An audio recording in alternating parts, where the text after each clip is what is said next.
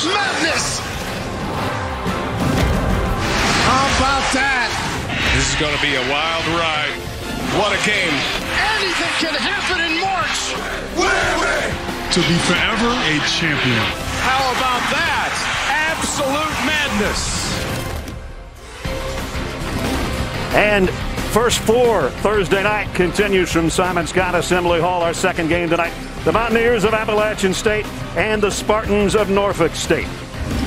You take a look at the brackets. The winner of this one takes on the top overall seed on Saturday, Gonzaga.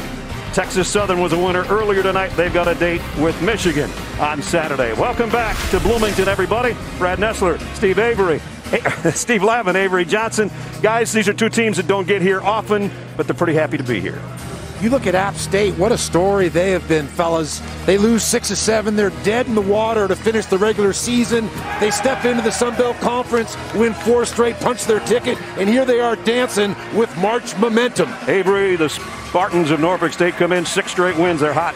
Yeah, and they're a team that loves to play multiple defenses. I think they have 10,000 defense in their defensive repertoire. and led by this guy offensively, and he's special in every way. Yeah, Devante Carter, he's the leader.